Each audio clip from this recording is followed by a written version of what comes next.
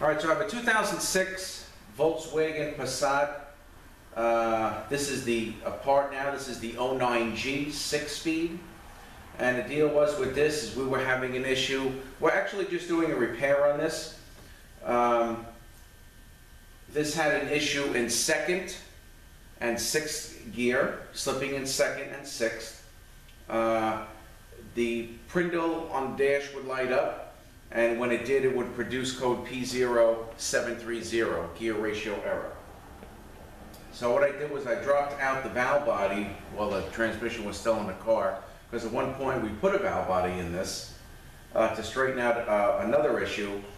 Um, Typically, when you have a bad valve body, uh, the car will work okay cold and not work okay hot, meaning you get in the car, don't let it warm up, you just get into it and drive it, the thing will work like there's no problems at all.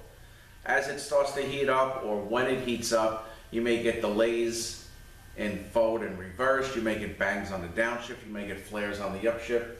But if you don't get that cold, then usually um, means you have a valve body issue. Okay, so when he brought this back, uh, I asked them to leave it overnight because I want to drive it cold, see how it works cold versus when it works hot, and it didn't work cold or hot. So I knew we were dealing with an internal issue. Uh, so what I did was I dropped the pan, dropped out the valve body, and I decided to air check the unit, you know, through the through the case here. And on the B1 clutch, there was nothing there. Just I put the air in, and it was just blowing by. The K1 was solid. This is the K1 clutch drum, the K3 clutch drum. The K2 and the B2 was still there. I'm not even going to take that out. Uh, so I knew we were dealing with uh, an in- internal issue. So what I want to do is get a little closer now and show you exactly what happened. The O-rings ended up getting cut on the B1 piston, which is right here that goes in the pump, because there was an issue with the apply ring. I have a another apply ring here. Uh, so let me get a little closer and show you guys what's going on with this, what I found had happened. And then I got to get this thing together. I want to at least get it built up to the pump before the bell housing goes on, and I want to air check it again. Uh, so let me get a little closer, and I'll show you what I found with this unit. All right, so here is the B1 apply ring. All right, here is the piston. I have new O-rings on the piston already, and this sits on, well, it'll sit better on this one, on the new one, and it sits on here and of course applies the, the B1 clutch uh, in second and in sixth. So here is the old apply ring. You can see it is broken, uh, cracked uh, here, a couple of maybe stress cracks here. I honestly have never seen this before, uh, but you know this is the problem. So when I went to air check this after I dropped the valve body out with the O-rings cut, there was nothing there. You know, the air was just blown right by, which would simulate like oil pressure.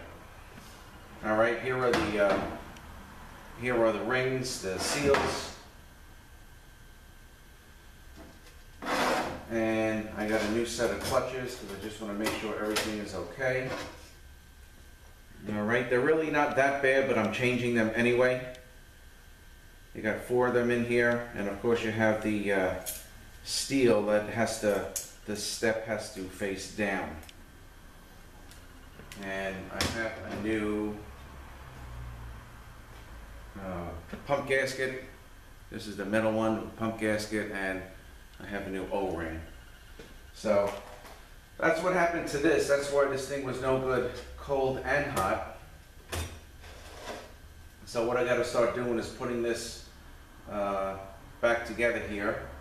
You know, I took it, I took the whole front half of the unit apart. This is um, here your transfer gear, and this is your output speed sensor that actually, you know, goes through the case and, and reads and reads the gear, reads the uh, park gear.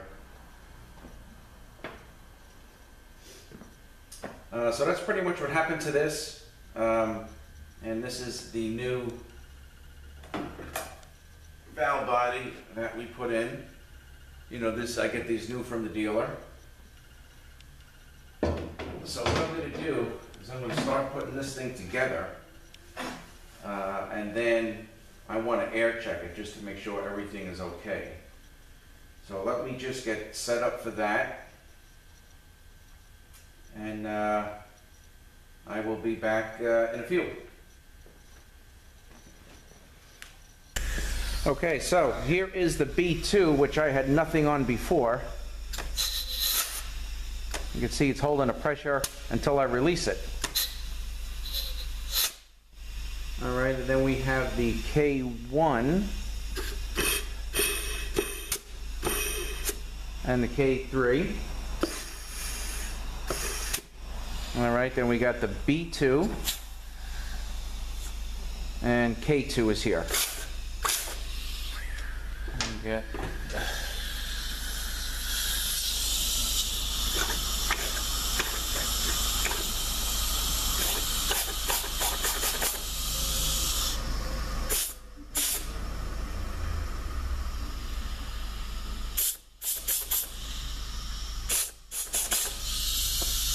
And this is a B1 accumulator here.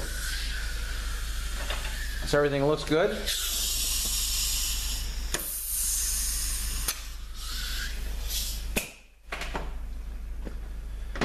So I'm just gonna finish assembling this. And, uh 'cause cause these guys are gonna be in shortly. So, uh, let me just uh, reset the camera real quick and we'll, uh, uh, close out the video.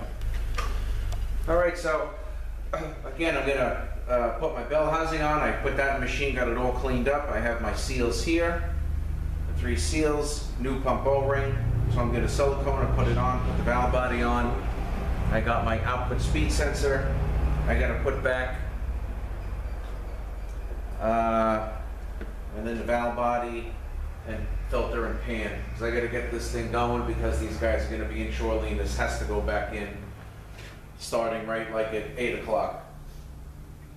Uh, all right, so once again, I had no second and no six, which is the B1 clutch, and I found the apply ring to be cracked, and I found the O-rings to be torn. I redid the piston, uh, I got a new apply ring, I got a new pump gasket, and O-ring. And I'm just gonna finish this thing up.